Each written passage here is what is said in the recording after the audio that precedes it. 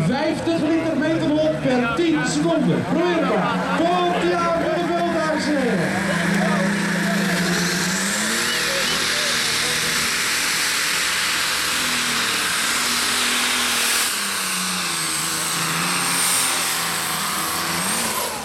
Waar wij een beetje de linkermotor Ja, wilde ik zeggen, Oftewel, er kwam eh, brandstof aan de verkeerde kant uit de motor. In dit geval.